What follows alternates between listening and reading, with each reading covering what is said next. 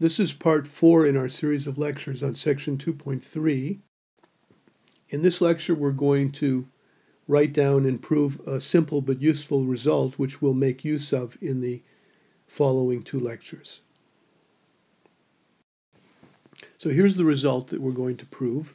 It says that for every positive real number epsilon, there exists a natural number n such that 1 over n is smaller than epsilon.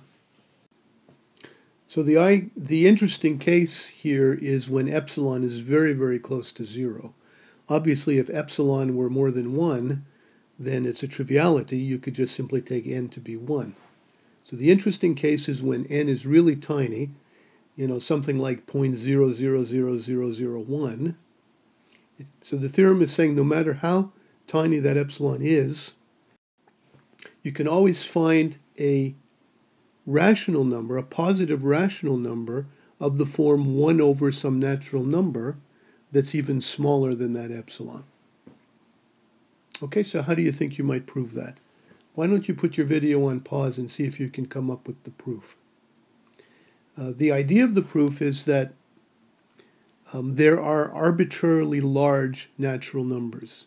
Given any number, no matter how big, you can always find a natural number bigger than that. So see if you can make use of that fact in order to prove this theorem. Put your video on pause and give it a try.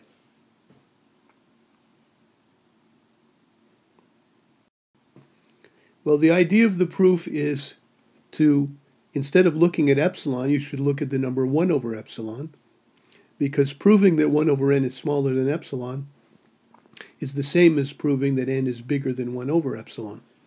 So starting as usual from the beginning because we're, we're, it says for every positive real number epsilon. So you should start by saying let epsilon be a given positive real number because it's universally quantified.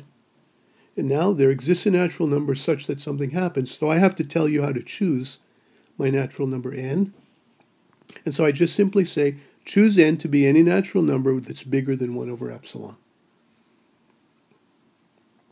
Then cross multiplying gives 1 over n smaller than epsilon. That's the desired result. And that completes the proof.